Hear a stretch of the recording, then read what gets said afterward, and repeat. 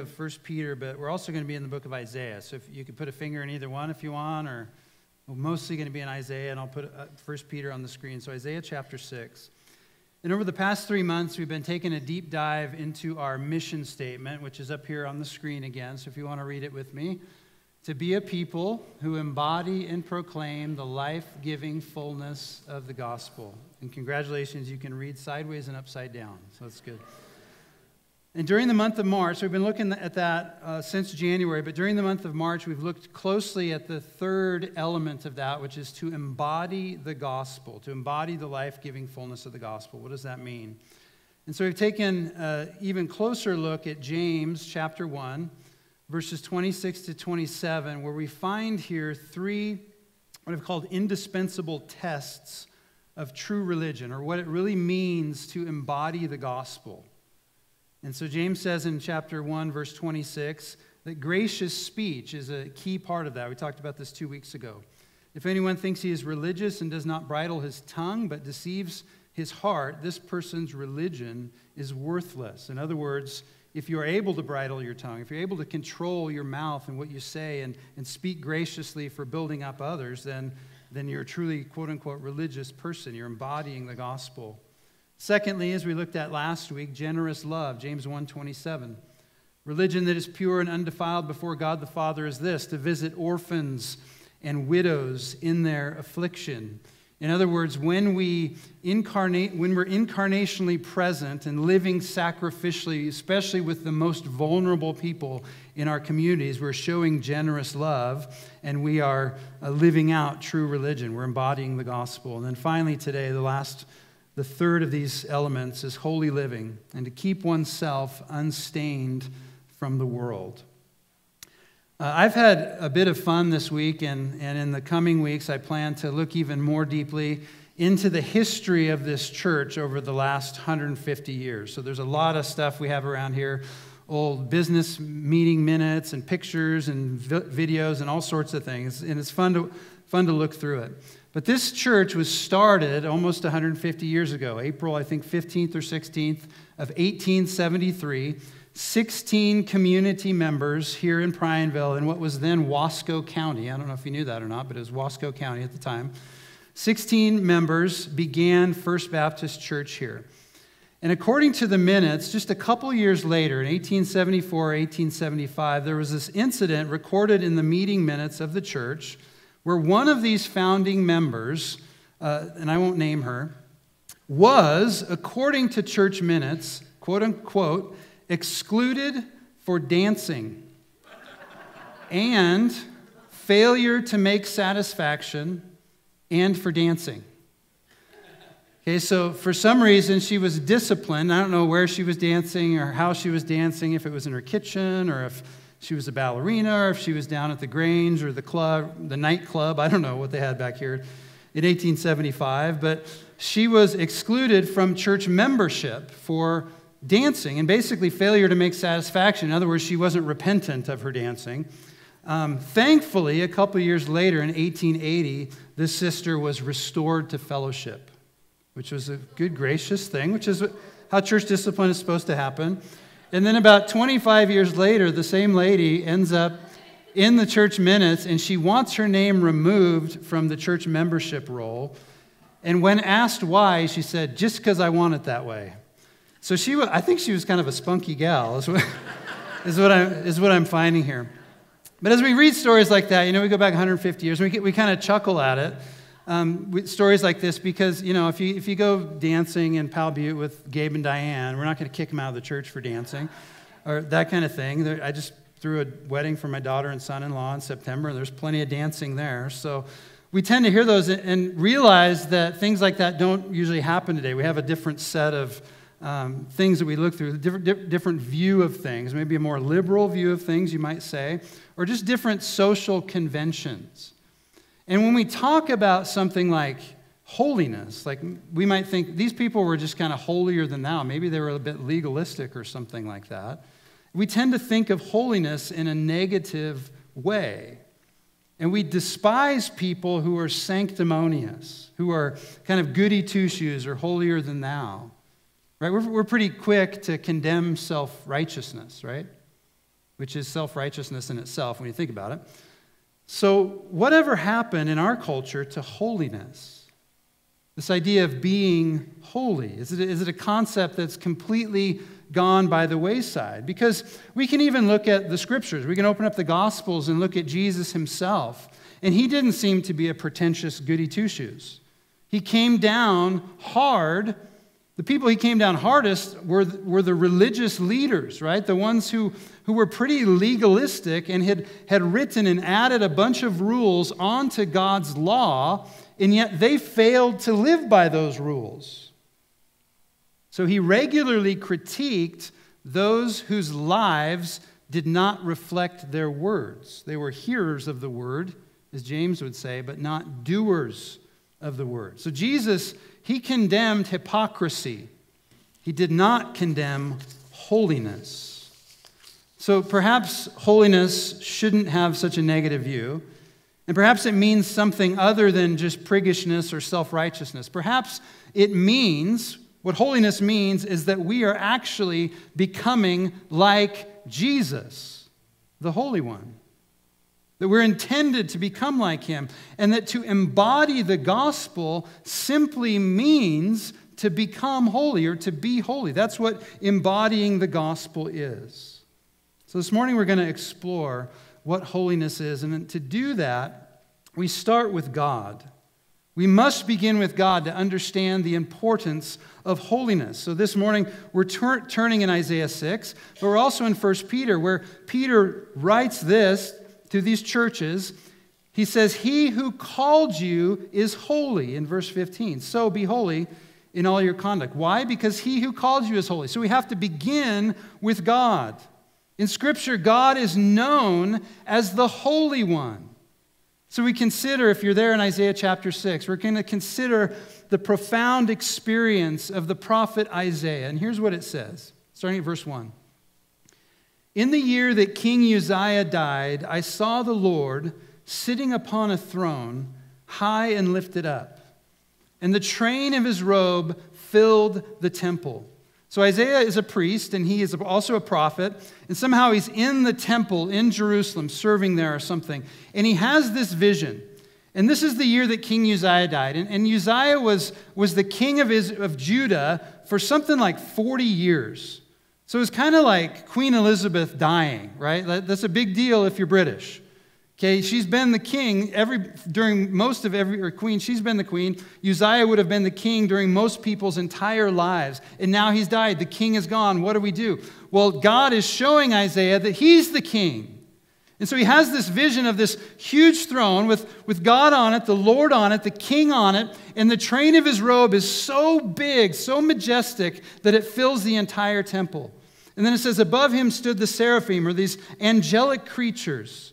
Each had six wings. With two, he covered his face. With two, he covered his feet. And with two, he flew.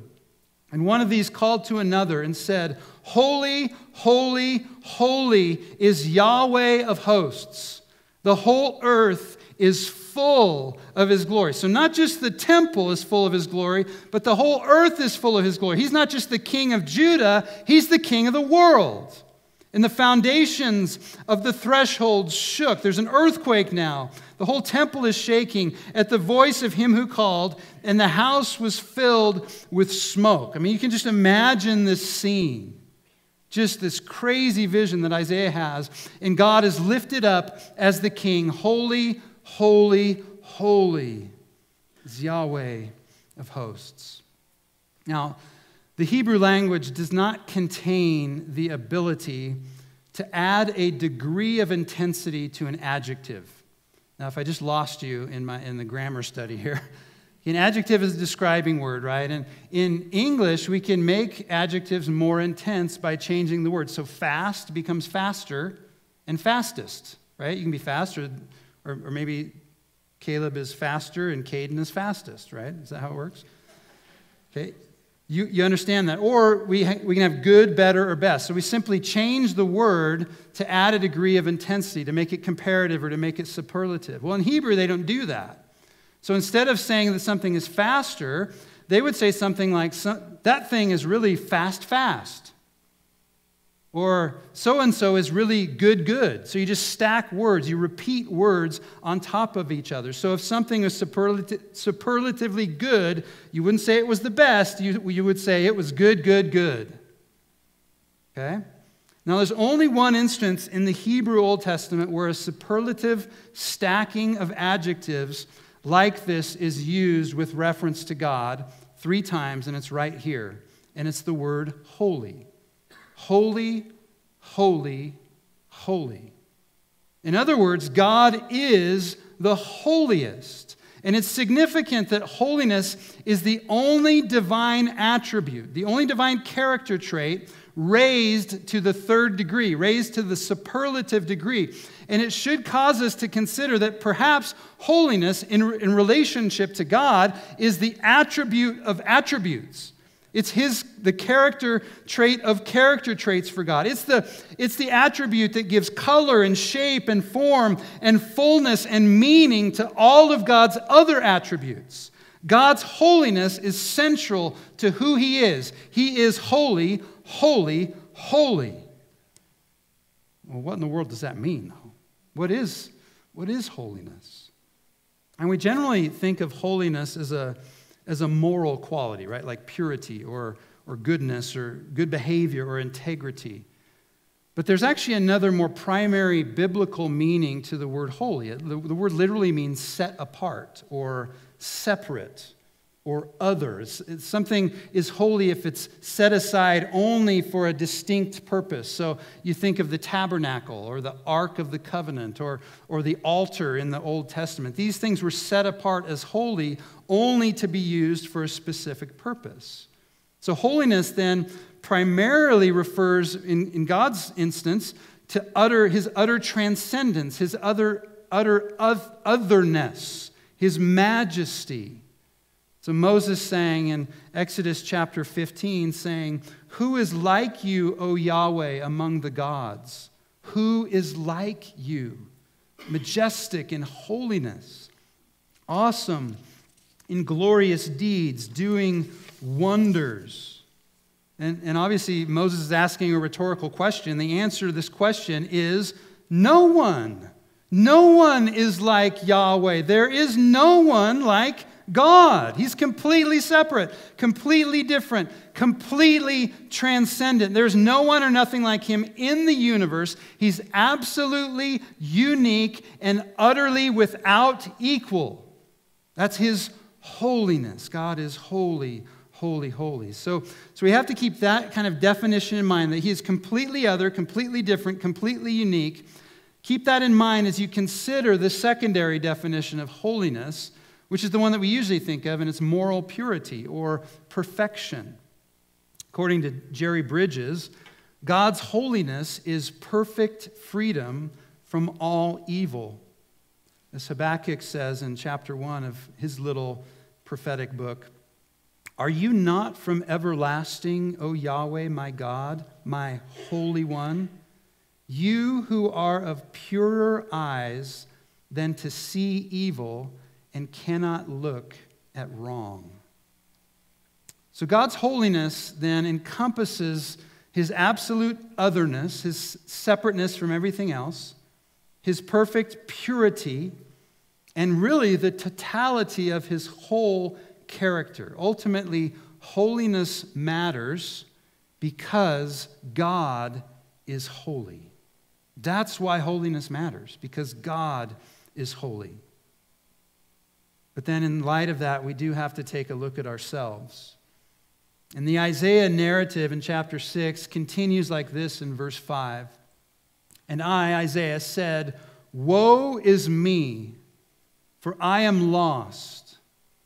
For I'm a man of unclean lips, and I dwell in the midst of a people of unclean lips.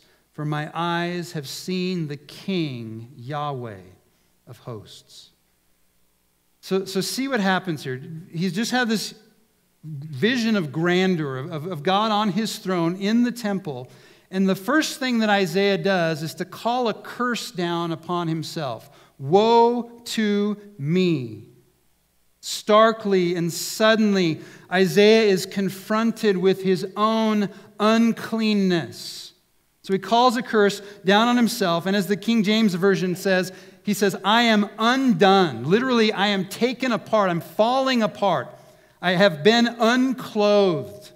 So, the carefully constructed self that Isaiah has built for himself to show to the world all these fig leaves that he has put on himself to cover up his sin and his nakedness have been removed. He's been unraveled and he's been left stark naked before the holy, other, pure, all seeing eyes of the holy God. He has nowhere left to hide. He's been outed for who he truly is a sinful, unclean man, unworthy of laying his eyes on the king. And this is what God's holiness does. When we're confronted with God's holiness, it exposes our sin, it brings it to light, it calls us to account. But if we're honest with ourselves, we are what you might call sin minimizers.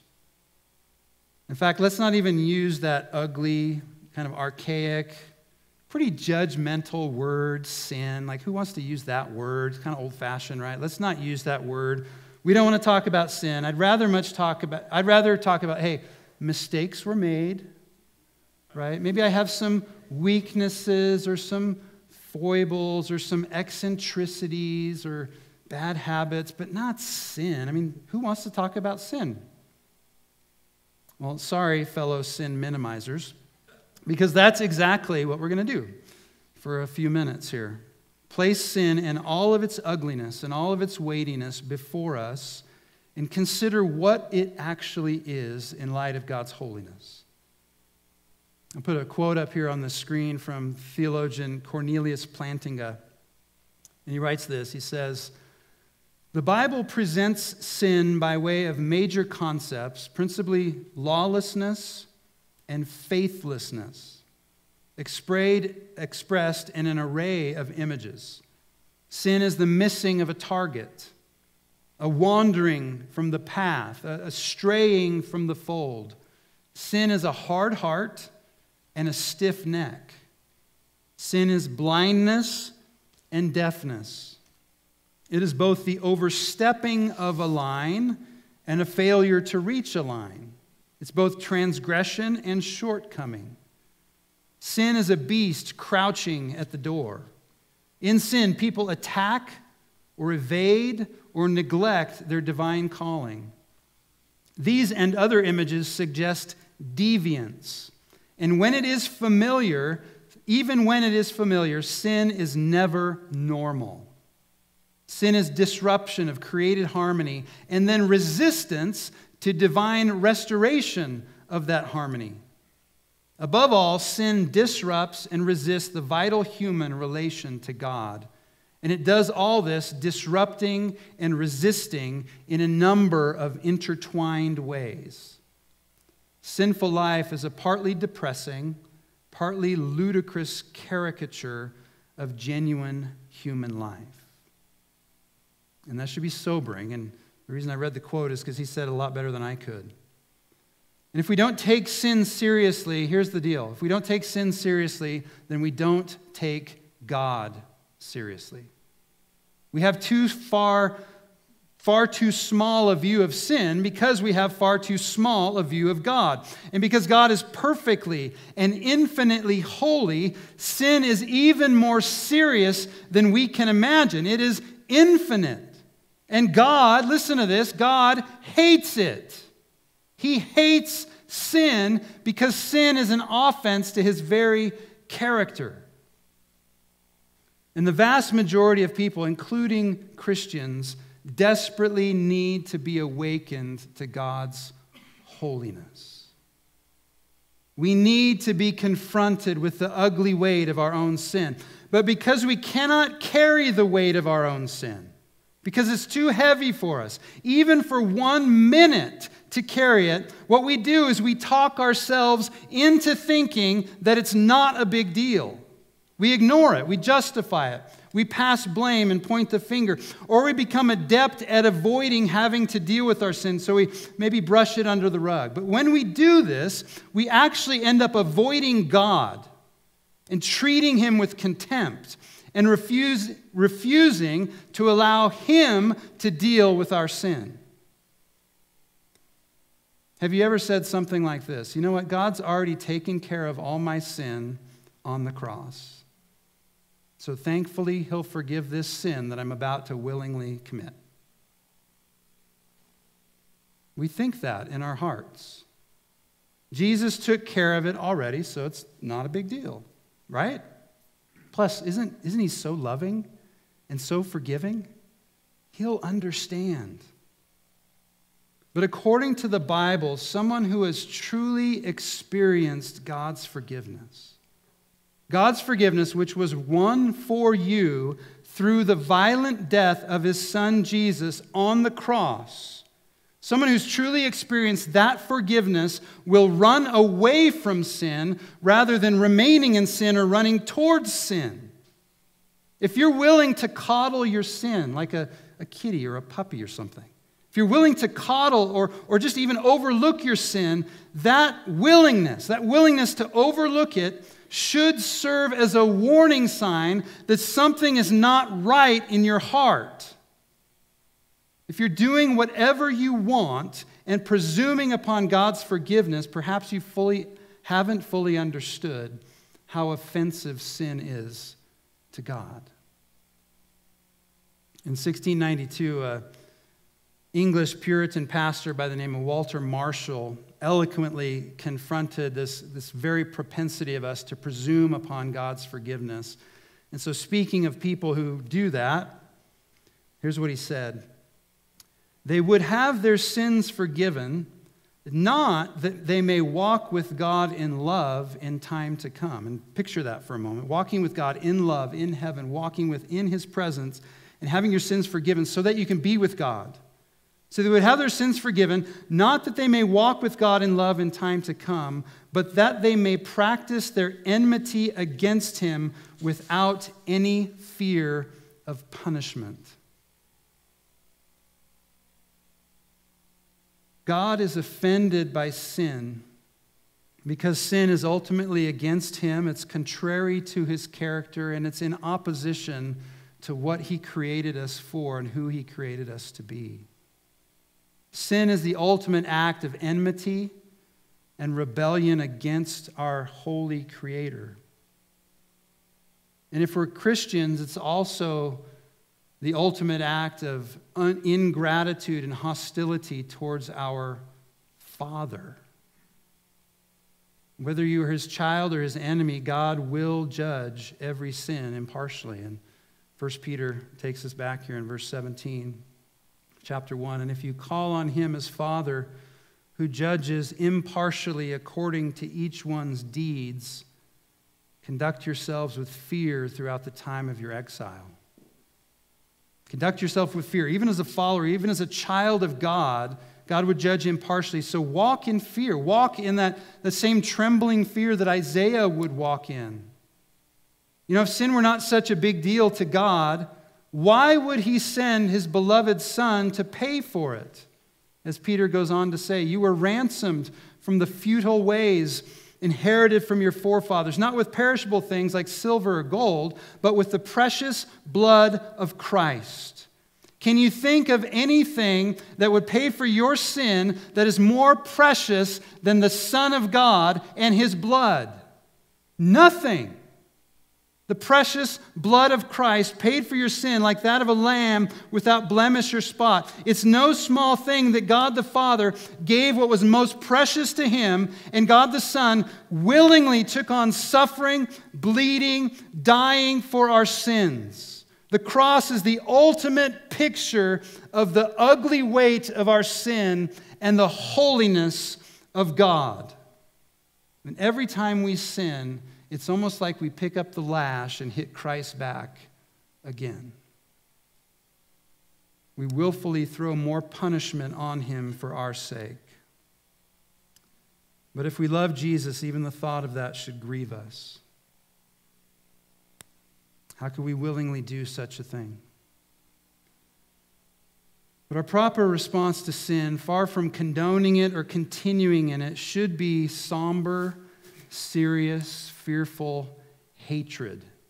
And you're not often going to hear a preacher tell you to hate things. But God hates sin, and so should we. Psalm 97, verse 10 Oh, you who love Yahweh, hate evil. Proverbs 8:13 The fear of Yahweh is hatred of evil. Amos 5:15 Hate evil and love good and establish justice in the gate. Or as Jerry Bridges has written, as we grow in holiness, we grow in hatred of sin. And God, being infinitely holy, has an infinite hatred of sin. And so we're called, brothers and sisters, to pursue holiness. We continue there. We go back to verse 14 of 1 Peter 1. As obedient children, do not be conformed to the passions of your former ignorance, but as he who called you is holy, you also be holy in all your conduct, since it is written, You shall be holy, for I am holy. The Apostle Paul in, in Ephesians chapter 5 says something very similar. Therefore, be imitators of God as beloved children. And so we are. We're obedient children. We're, we're beloved children. We're sons and daughters of the King. We're sons and daughters of God, and we're called to embody the gospel as God makes us more and more like his son Jesus. That is, as he makes us more and more holy, which is kind of a big deal when you think about it, because God is holy. He's completely other, and we can never be God, but in Christ, we are called to look and to act like him. It's an astounding reality that we could be called holy. It's also impossible in ourselves. But here's where the gospel truly has teeth. So let's return to our friend Isaiah in Isaiah 6. We left him basically completely unraveled and undressed and undone in the temple, confronted with God's holiness. And here's what happens in verse 6. Then one of the seraphim, one of these six winged flying angels, these creatures, flew to me having in his hand a burning coal that he had taken with tongs from the altar. So, this, this red hot coal from the altar. And he touched my mouth. Imagine that for a second. Having your mouth touched with a burning hot red coal would hurt. Touched my mouth. And, and remember also that the mouth was the, the place of the body that, that Isaiah said, that's the sinful part of me. I'm a man of unclean what? Unclean lips and I live amongst a people of unclean lips. And he touched Isaiah's mouth with this coal. And here's what he said Behold, this has touched your lips. Your guilt is taken away, your sin atoned for. So, in the presence of God's holiness, Isaiah is confronted with his sin. He stands guilty, he stands judged, he stands condemned. He calls a curse on himself. But God steps in in his sin, in his brokenness, in his utter inability to do anything for himself, God steps in to provide cleansing, to provide forgiveness, to provide atonement for Isaiah's sin, and he does the same for us.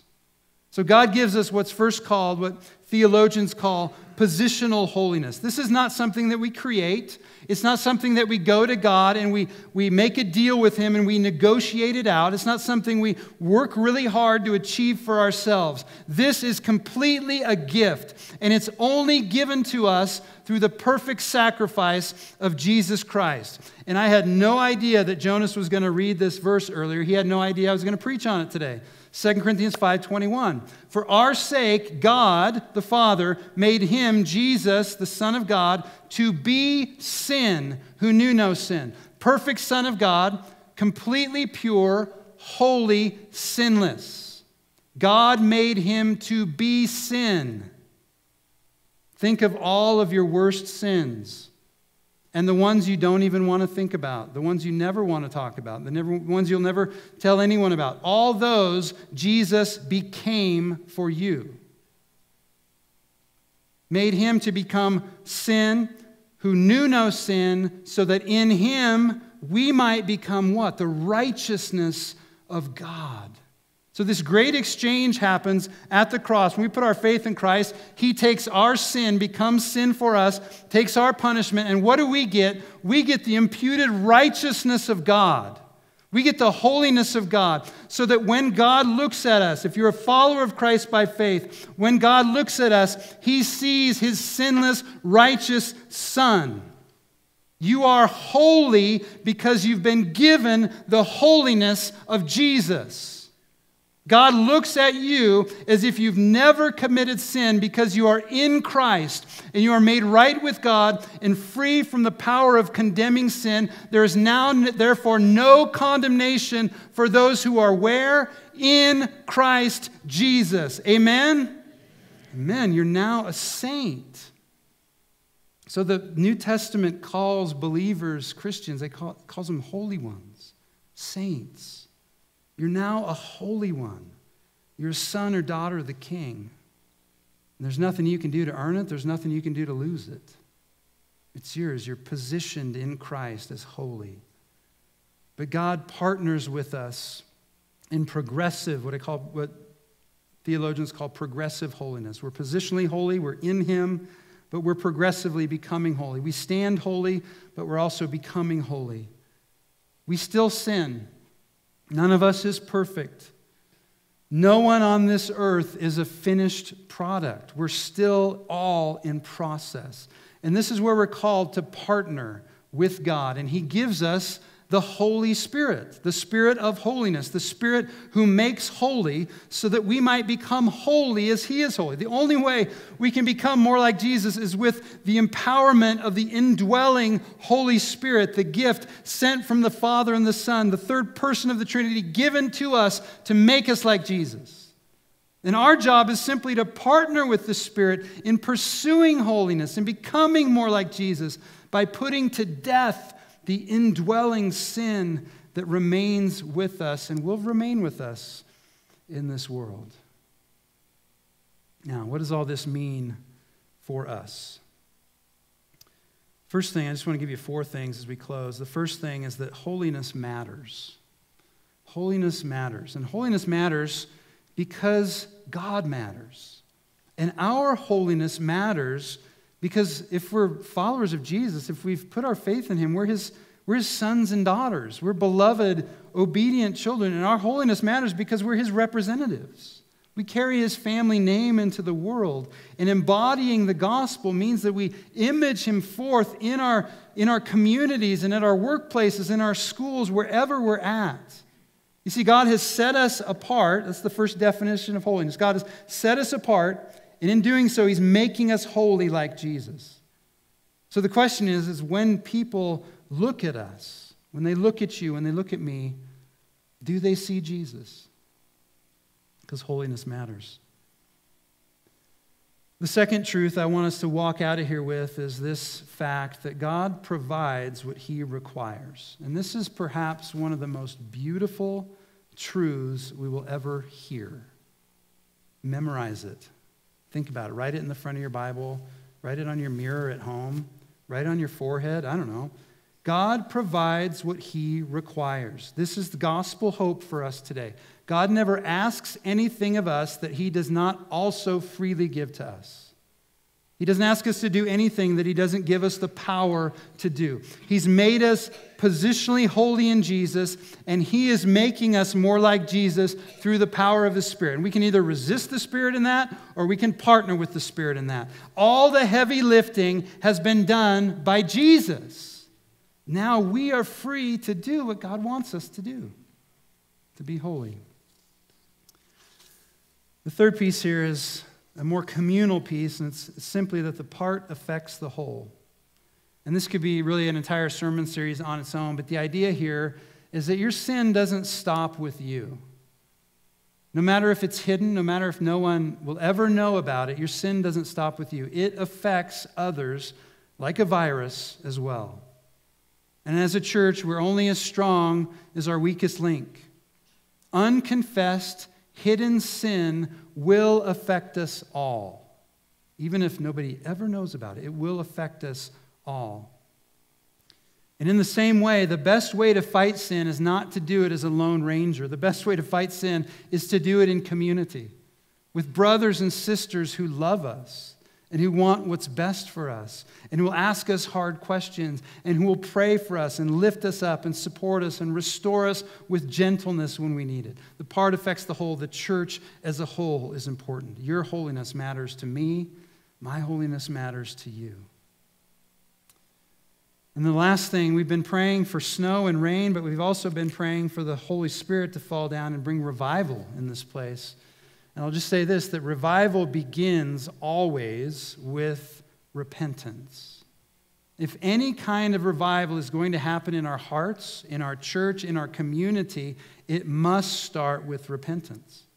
But repentance can only take place where sin is recognized, where it's confessed, where it's grieved over. And sin will only be recognized, confessed, and grieved over when God's holiness is taken seriously. When we're confronted with a holy God before whom we cannot stand without his son Jesus. And so, revival must start with the stark realization of our sin, which means that we have to look to God.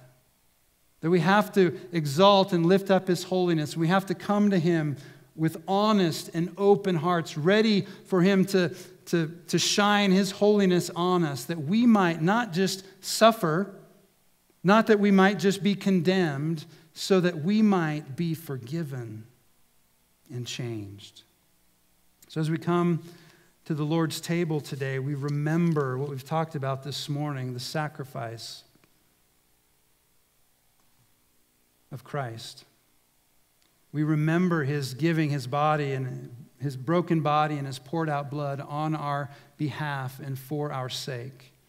And so, as you come this morning, I would pray that you would come with a heart ready for light to be shown on it, ready to confess what needs to be confessed to Him, bring up what needs to be brought up to Him. And if you need to meet with somebody to talk about that this morning, I know the prayer room's going to be open. You can talk back there. I think Marlene's in there, or talk to somebody you're with. Confess your sins to one another that you may be healed. And as you come also, not just for confession, but for healing, I pray that, that Jesus would just I don't know, just bathe you in his forgiveness and his grace this morning. And that he would empower you again with his Holy Spirit to go from here, to live holy lives and embody the gospel, depending completely on him at all times. Father, we pray for you. We pray this morning for you to give us the grace of your Spirit poured out on us. We pray as we come and we partake of this bread, which, which reminds us of the broken body of Christ the scourged body of Christ, the, the body with, with nail holes in the wrists and in the feet, the body with puncture wounds in the scalp from a crown of thorns, the body with 39 open wounds in the back because of the lashes that you took for us. As we think of your body and your blood poured out, we take of this bread and this cup. God, we are humbled. We pray that none of us would take it lightly, that we would not just presume that you did all this so that we could just keep on sinning and rebelling against you, but you did it to make us new. You did it to redeem us, to buy us back. You did it to give us the life that you created us for. So, God, we revel in that new life this morning. We revel in that grace this morning. And we revel in your holiness this morning. Lord, may we not be afraid to pray with David that you would reveal in, us any unclean way and lead us in the life everlasting. So, Spirit, have your way with us. Bring revival here through our repentance. May it start in our hearts. Father, do your will. Have your way with us, we pray. Amen.